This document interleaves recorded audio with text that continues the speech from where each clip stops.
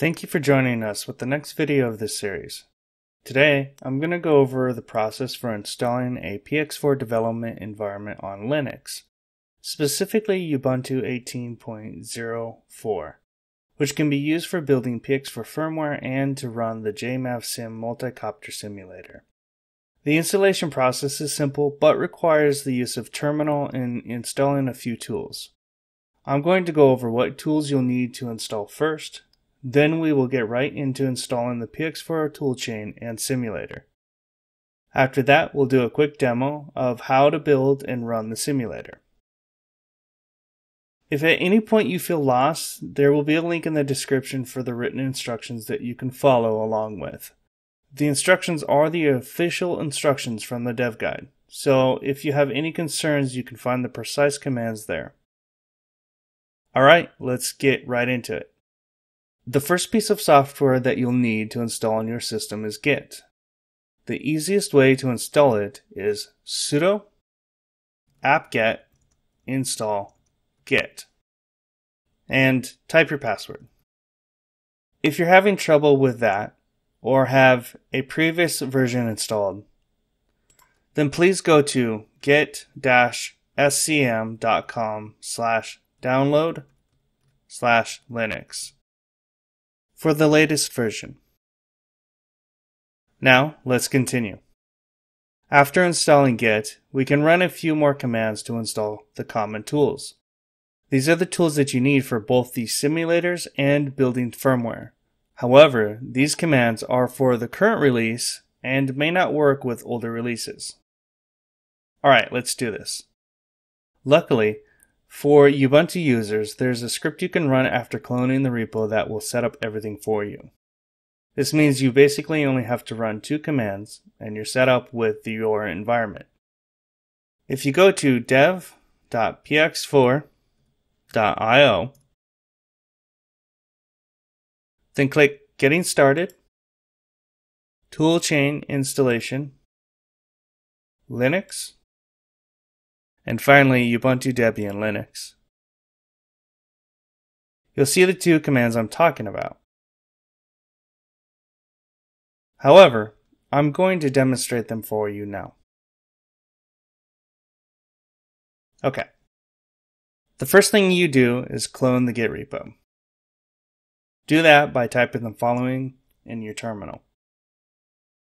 git clone https github.com forward slash px4 firmware dot git recursive.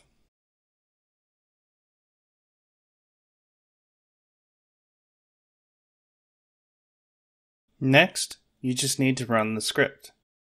Do that by typing this in your terminal. cd firmware bash dot forward slash tools setup ubuntu dot sh and then enter your password.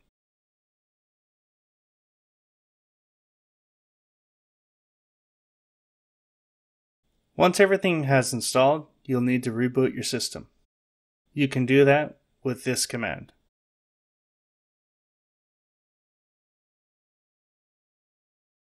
And then press enter.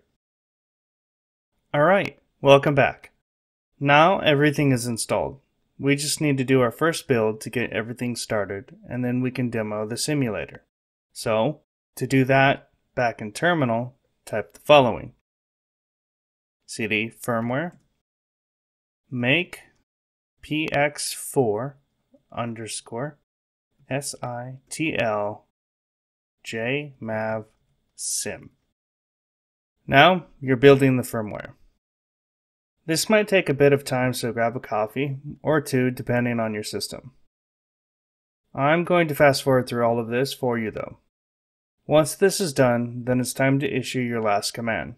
However, if you find these instructions aren't working like in this video, then please create an issue on the GitHub repo or contact us in Slack so we can resolve the problem as quickly as possible. It's likely that something has recently changed and we just didn't catch it yet.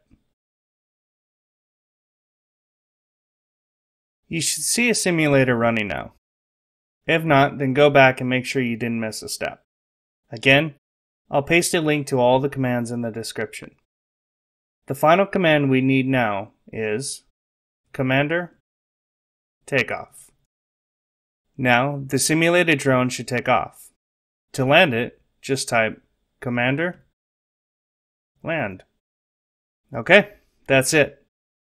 Thanks again for joining us in this series of videos.